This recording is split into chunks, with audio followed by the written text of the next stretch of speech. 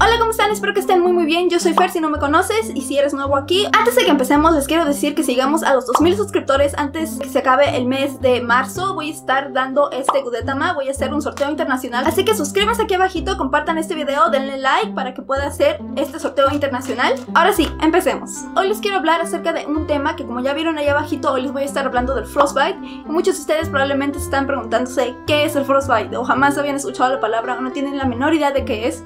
Les quiero dar esta información Permíteme ofrecerte información que cura. porque pienso que es muy importante para todos ustedes, especialmente si van a venir a lugares muy muy fríos como Canadá o en los Estados Unidos o simplemente cualquier lugar en donde nieve. He estado viendo en las noticias que allá en los Estados Unidos va a ser mucho frío o está haciendo mucho frío también acá en Canadá. De hecho, las temperaturas que están en los Estados Unidos son igual de comparables que las temperaturas en el Polo Sur. El frostbite es básicamente el congelamiento de la piel. Normalmente es causado por estar expuesto al frío por un largo periodo de tiempo, pero también puede ser causado cuando tocas el agua fría o cuando te pones un hielo. Ya ves que estuvieron haciendo eso del challenge. Bueno, esa es una parte de cómo causarte frostbite a ti mismo. Este, y también tocando el metal. También existe lo que es el wind chill. El wind chill es básicamente la cantidad de aire o de viento que está haciendo cuando las temperaturas están muy bajas. Es decir, por ejemplo, ahorita estamos a menos 17 grados bajo cero. Pero porque hay mucho viento, se siente como si estuviéramos a menos 25. Eso es el wind que hace que la temperatura que ya se siente baja sea aún más baja.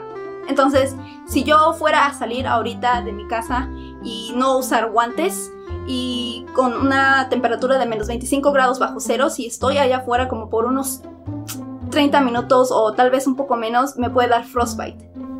Las partes más comunes en las que te dé frostbite, que son las que más te tienes que cuidar si es que vas a ir a algún lugar como acá, como Canadá o en los Estados Unidos, es la nariz, las orejas, la barbilla, todo lo que esté en la cara en general, porque obviamente no ocupamos, bueno, al menos de que tengas un pasamontañas, entonces, pues los ojos, ¿no?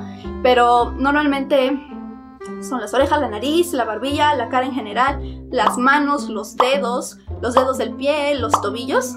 Esas son las partes más vulnerables a las que tienes que estar teniendo mucho cuidado cuando vayas a salir en temperaturas tan bajas porque luego te puede dar frostbite y ni siquiera te das cuenta. Bueno, algunos de los síntomas del frostbite vendría siendo obviamente la piel fría, luego se te pone roja, morada, azul, verde, amarilla, negra, Ah, te empiezan a salir empollas, luego se ponen ah, blancas, te empieza a cuartear la piel.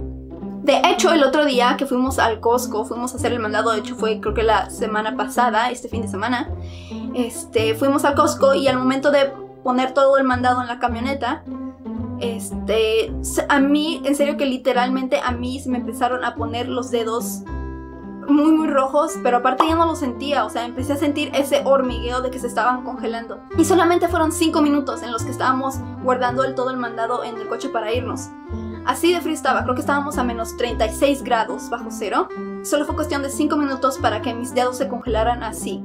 Muchos de ustedes pensarán, ¿cómo se te puede congelar la piel? Bueno, es por las células. Las células, todas las células de nuestro cuerpo tienen agua, entonces esa agua de esas células se congela. Es por eso que las partes de la piel se pueden congelar. Lo recomendado es usar obviamente ropa apropiada para cuando vayas a estar expuesto a climas muy muy fríos. Igual siempre que vayas a salir tienes que ver a qué temperatura estás y cuál es el wind chill, porque no importa que estés solamente a menos 10 grados, puedes sentirse a menos 20 si es que hace mucho viento. Lo más apropiado es usar guantes, gorros, orejeras, chaquetas de invierno, ropa térmica, botas de nieve, calcetas, pero de las gruesas, no esas de verano de delgaditas. Trata de tapar todo en general. Te puedes poner un pasamontañas si es que quieres, si es que te da mucho frío, si eres muy friolento, póntelo, no importa. Es mejor que te cubras y que estés seguro de que no te va a afectar nada en tu cara, que luego te arrepientas o te dé frostbite. Tú vienes para acá, para Canadá, para los Estados Unidos o algún lugar donde haga mucho frío y nieve, trata de siempre cubrirte apropiadamente, no subestimes al frío porque te puede dar frostbite y probablemente no lo sientes. Ha habido casos en los que las personas no se dan cuenta que se le congelaron los pies o que se les congelaron las manos hasta que llegan a su casa, se quitan los zapatos y tienen el pie literalmente morado. Si es que tienes alguno de estos síntomas, especialmente si se te pone la piel muy muy roja, que te arda así bastante, cambia, si te sale algún tipo de color diferente a tu piel, amarillo, verde, morado, azul, blanco, si te salen ampollas tienes que acudir rápidamente al doctor porque esto puede ser muy muy peligroso.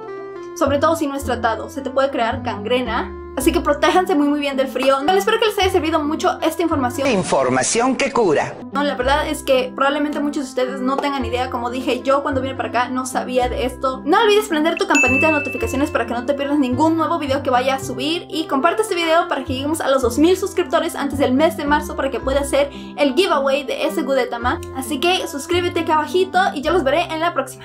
Información que cura.